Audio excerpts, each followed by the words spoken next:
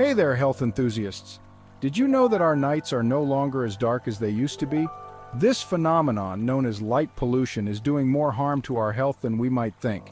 Let me break it down for you. Light pollution is essentially the excessive use of artificial light at night, from streetlights, buildings, and even our own devices. And it's not just about spoiling stargazing, it's a serious health risk. One of the key ways light pollution affects us is by messing with our circadian rhythm.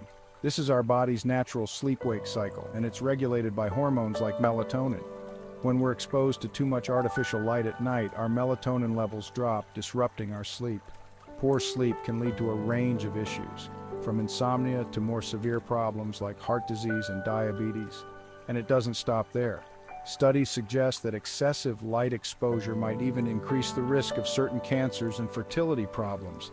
It's a growing area of research, but the early findings are pretty concerning. So, what can we do about it? On a community level, we can advocate for better outdoor lighting. This means using warmer colored lights, lowering light levels, and installing shields to direct light where it's needed. At home, we can create healthier environments by dimming lights in the evening and using warmer toned bulbs. Limiting screen time before bed and using night modes or blue light filters on our devices can also help.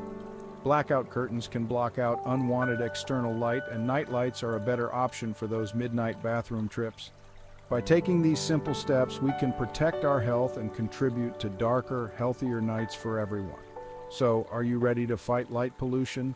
Don't forget to like, subscribe, and hit the bell for more insights on how to live a healthier life. Thanks for watching.